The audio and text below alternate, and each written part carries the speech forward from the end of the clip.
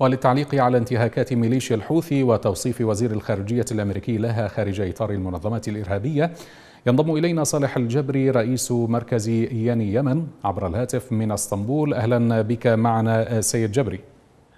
أهلا وسهلا يا مرحبا.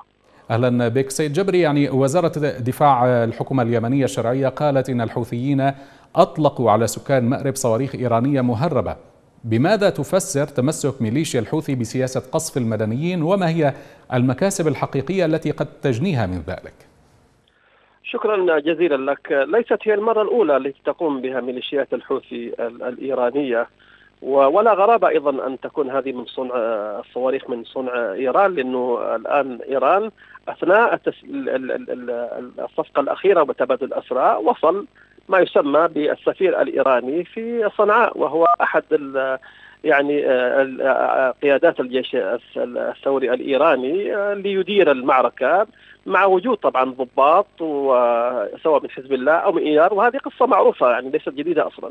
وبالتالي الحوثي كان منذ شهر أغسطس الماضي يريد إسقاط مدينة مأرب بحيث تصبح المناطق الشمالية كلها بإسقاط مدينة مأرب تابعة لميليشيا الحوثي والمناطق الجنوبية تابعة للمجلس الانتقالي المدعوم من قبل الإمارات العربية المتحدة. ولكن لم يحالف الحظ. هناك استماتة من الجيش اليمني ومن أبناء القبائل في مدينة مأرب وما حولها.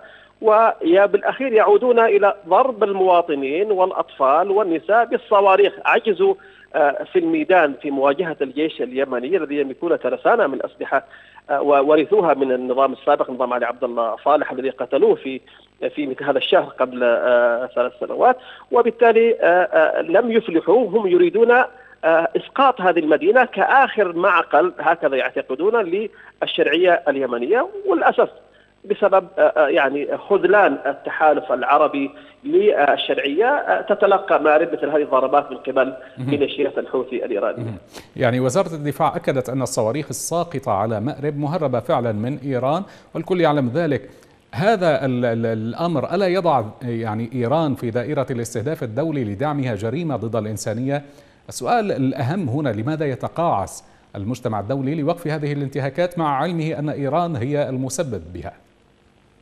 هذه الإشكالية أن الناس كانوا يتوقعون أن أن نجد غضب يعني غربي وأمريكي على ما يحدث من انتهاكات في مدينة تعز في مدينة مأرب من قبل هذه الميليشيات التي انقلبت على الشرعية اليمنية وعلى شرعية معترف بها أصلا من العالم العالم الآن هو معترف بشرعية الرئيس هادي وبحكومة الرئيس هادي لكن للأسف يخذل الحكومة الشرعية ويغض الطرف عن هذه الميليشيات. ونسمع يعني يعني في الإعلام أن هناك توتر بين أمريكا وبين إيران ولكن للأسف الشديد ما نراه في الواقع سواء في سوريا أو في العراق أو في لبنان أو في اليمن يعني هناك غض الطرف لميليشيات وكأنها ابتزاز أيضا للتحالف العربي وعلى راسها السعودية بشراء الأسلحة والتصنيف الأخير كنا كان يعتقد الكثير بأن أمريكا ستصنف ميليشيا الحوثي من ميليشيا إرهابية وهي كذلك إرهابية لكن هم يريدون ابتزاز المملكة العربية السعودية في آخر أيام الرئيس ترامب.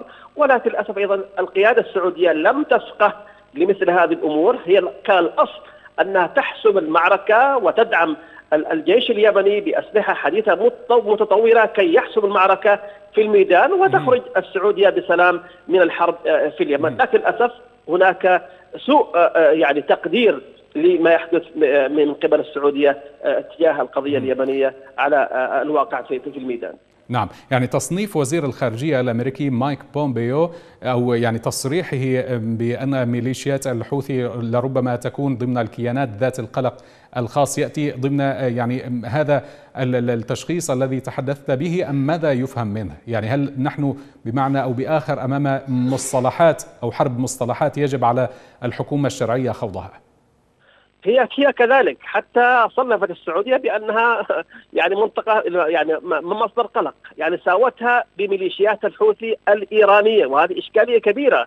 رغم العلاقات القوية بين السعودية وبين أمريكا رغم أن السعودية من أكثر الدول يعني شراء للأسلحة في العالم من من أمريكا ومن بريطانيا. لكن للأسف الشديد ترامب لم يعني يتجمل مع الحليف اللي يسميه الحليف السعودي وسماها بمصدر قلق وساواها يعني بميليشيات الحوثي الإيرانية لا يهمني هذا التصنيف بقدر ما يهمني ما مدى جدية التحالف العربي تحديدا السعودية اما الإمارات فأصبحت عدوة واضحة لليمن ودعمها لميليشيات المجلس الانتقالي، أنا أتكلم عن السعودية عن غضها للطرف، عن سكوتها عما تقوم به الامارات، عن سكوتها عما تقوم به الولايات المتحدة الأمريكية التي يعني وعدتها، ولذلك يبدو أن هذا يعني رد فعل من قبل أمريكا في الأيام الأخيرة لترامب بعد أن يعني السعودية بدأت يعني في علاقتها القوية الأخيرة الآن مع بريطانيا والاستفادة من خبراتها العسكرية في مجال يعني إسقاط الطائرات بدون طيار واستعانة بعض ال ال